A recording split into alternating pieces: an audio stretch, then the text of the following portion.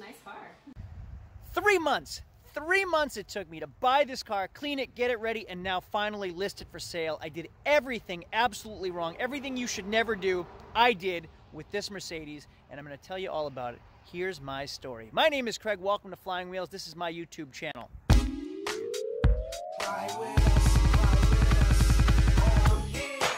So three months ago, I bought this 2006 Mercedes CLS 55 AMG, a supercharged V8. Awesome, super fun, incredible car. $120,000 car, brand new. I bought it for $1,850, shipped to my door. There's a lot more to it than that, though. This car is a rocket ship that massages your back while doing it. It's unbelievable. And they're retail for like 15 to 20 grand. This is an 06 with 101,000 miles. If this car was clean and in perfect condition, it would be about a $16,000 car. But it's not perfect. And who are we kidding? Neither are you. But it's a fun ride, just like your girlfriend. And it's all right looking, just like your girlfriend. It's a good car that's a lot of fun, that's fast as hell. It has a reconstructed title. What is a reconstructed title? A reconstructed title is a brand on your title, meaning it has been in an accident or has been in a flood or it has been in a theft or something has happened to this car which necessitates the repairs of the vehicle to be more than the value of the vehicle. So the owner gets a check for the amount of the vehicle back and then the car goes to auction or the car goes to the insurance company or the owner buys the car back from the insurance company and now they have to repair what was wrong according to the insurance specs. Then they get it re-inspected and then they get a new title with a brand reissuing rebuilt title or stating rebuilt title. That's what this car is why did I buy it, you may ask? Well, I'm a glutton for punishment. I just can't help myself. I own a car dealership not because I want to sell cars, because I like cars and I want to buy cars and I want to drive cars and I like the projects. I should I have bought it? Hell no. I should have never bought that thing. I should have stayed a thousand feet clear from it. But I can't help myself. It was fun while it lasted. It made two good videos at least. I hope. I think. But anyway, I'm going to tell you all about this car, how I got it, how much I paid for it, how much I have into it. And it doesn't look so bad anymore now, right? Well, like my damn dog that can't keep his head off its trash even though he knows it's not supposed to, I couldn't help but buy this Mercedes CLS AMG. it is an absolute turd. But I bought it online, sight unseen. The price was just, I, I just couldn't resist it. It's a supercharged 5.4 liter V8, 469 horsepower, like 517 foot pounds of torque, supercharged monster.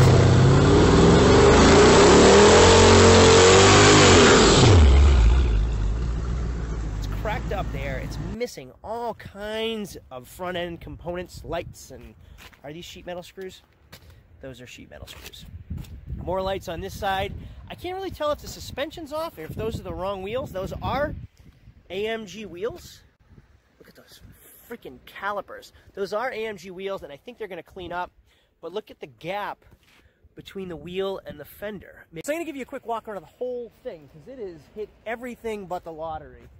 But look at how the paint's like chipped off on the edges, the bumper, the wheels are all beat up. I think those are gonna actually clean up pretty well. Holy moly, look at this thing. How do people have a Mercedes AMG and treat it like this? Shame on you! Shame. Shame. And here's my favorite part and why I bought this beauty. I say that being facetious. AMG supercharged 469 horsepower V8 with a 5-speed automatic transmission that still runs and drives. Maybe I could turn it into a drag car. Holy moly, look at all these parts. We have some, what, control arms, new control arms. Those, I'll put those in. Are these HID ballasts or like xenon ballasts? Mercedes is detailed and looks like a completely different car. Bumper's off because German's prepping the bumper. He's repairing all the scratches. Guess who's back? Hi. Back again. this is back. So I'm going to go through the Mercedes real quick because it's not completely finished. I'm going to have Alyssa do some of the work to it. We got German doing the bumper in there. As Alyssa mentioned, we still have the Mustang taking up space over there. So if you guys saw the video before, you all saw how rough this thing was. Now look how clean it was. We have the wheel spacers on the way, so there's not going to be such a big gap right there. They look good like this, but not like that. And the first thing you said when you came in was what? It's a nice car. nice car. So already we're making improvements. What a thing that I want to show everybody. So we had a rip in the passenger seat, Alyssa. Mm -hmm. Right here. And what I did was sew the leather, and then I had some suede, leftover suede in the shop. So I traced it out, and then I used like a spray adhesive, and then patched over the rip. So if you look here, the seat has some suede already. Oh, really So I just matched yeah, the it just suede. kind of blends in. It blends in. So now nobody would even know or even question it. Those seats are massaging seats, heated seats, nav, sunroof, Nice. 500 horsepower. Not only is it V8 like you were just asked, it's a supercharged V8, has 520 horsepower. I'll have you pull this out and I'll put the Mustang in this bay.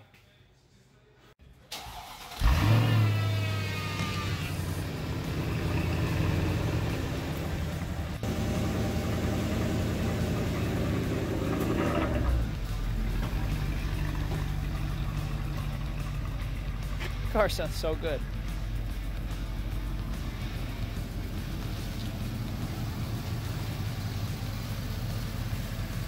It's actually coming out way nicer than, yeah, right in that spot. It's coming out way nicer than I expected it to come out.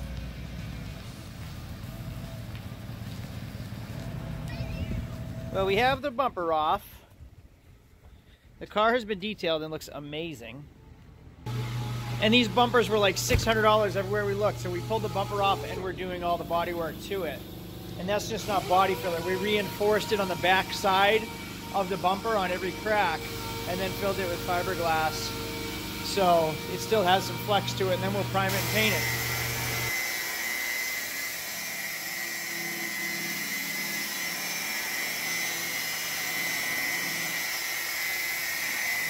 Body work on the fender here. Headlights buffed here. AMG shining there. A Little rim restoration because German shining over here. Mercedes AMG supercharged cleaning. This is how it's done.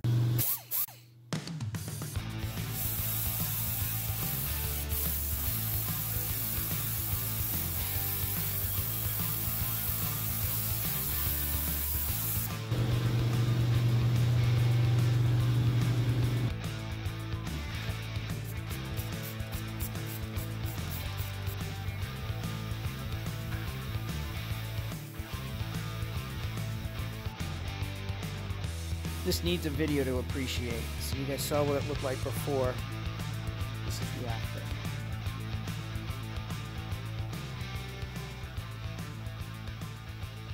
Hand built by Sophia somebody. Updates. Taped off, wet sanded, ready for paint. We're going to blend the quarter just because there was a little bit of body work that needed to be done right there. Not even body work, the paint was chipping off. And then over here, is the bumper. Ready for primer. Paint is done. Blend is done. Now it's going in for wet sand and buff. Bumper's also finished. The blend on the back quarter of the Mercedes has also been blended on the front fender and was wet sanded and now being buffed here. Thanks to this guy. Finished product, bumper is on. This is the definition of making chicken soup out of chicken excrement, as my grandfather, Papa Al, would say. That bumper came out pretty damn good. Those bumpers were like $600 everywhere online, and we brought this one back to life. You'll see there's still a little bit of, like the hood is slightly out of alignment here. And I'm going to let you guys in on a little trick. See those grills right there? Those grills were missing and they were crazy expensive online. I went to the hardware store and I bought this right here, mesh wire. I bought that. We truck bedded it black and we pop riveted in there and it looks pretty damn good, I think. German did a great job with the blend. German did a great job with the paint. We blacked out the Benz emblem right there. Looks pretty damn fly, I think. Sadly, the tint on the reverse lens has to come off, which didn't really make sense anyway. Why would you tint a reverse light? You need that light to back up and see where you're going. Legally, can't have it tinted. Once again, Germans at it. Got rid of the tint and buffed those taillights. and blended that bumper last night. So look at how nice the bumper came out. And now you can see the gloss on it as well. Guy is a magician. The other thing he did was align that hood better. So just a few seconds ago, I showed you that hood didn't align and he figured it out. So it took me three months to finish this thing. I bought it like December 10th, midwinter, beginning of winter, and here it is March 3rd, almost three months to the date. I bought that thing and it kind of sat on the back burner. It was rougher than I thought. I don't know. It was in rough shape and it needed some work and I was getting ready for tax time, so I kept putting other projects in front of it. So I do a little bit of this, and then I work on two cars. Then I do a little bit of this, then I work on two cars. But the thing that held me up the longest, I mean, this car should have been ready a month and a half ago. The silliest thing, freaking lug bolts. So, you'll see right here, I put some wheel spacers in. Well, because I put some wheel spacers in, Mercedes doesn't use lug nuts, they use lug bolts that go all the way into the hub. So I went on eBay, first mistake, bought some wheel spacers and lug bolts. I was sent the wheel spacers and the wrong lug bolts. So I sent the wheel spacers back. Long story. That was a that was a month and a half process. So that alone, lug bolts, took me a month and a half. And if the car was a priority, I obviously would have pushed it harder, but it wasn't. It sat on the back burner. It was parked in the corner of my lot. I was just waiting and waiting and waiting. It wasn't really that big of a deal for me. Plus, I wanted to wait till the weather was nicer to sell a rear-wheel drive supercharged race car, luxury race car. So it's finished. The lug bolts are in. The car is done. And it looks pretty damn good. Why don't you guys tell me what you think?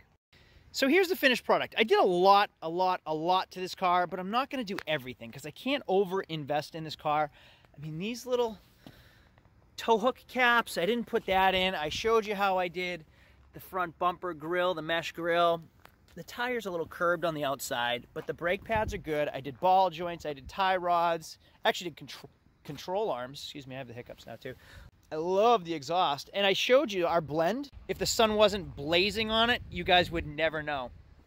You can see it right there, right there. But it's only because the sun is beaming on it. And that's a silver, which is so hard to match. So that's pretty damn good. If that was in the shade, you would never know. Look at it right there. You can't even tell.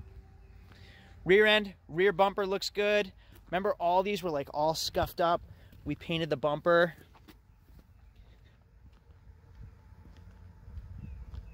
This side came out excellent. Front bumper again. The whole bumper came off. That took a lot of work.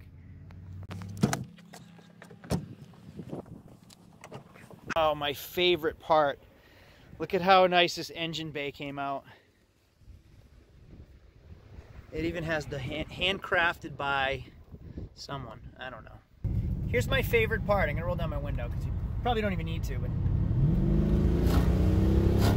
sounds so good and it's so fast. So here it is in the shade. I wanted to show you the difference. In the shade, you can't even tell.